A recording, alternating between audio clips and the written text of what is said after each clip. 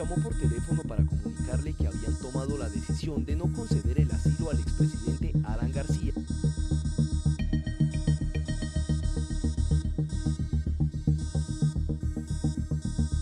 ni lavado de activos en un caso de sobornos pagados por Odebrecht en la construcción de la línea 1 del metro de Lima.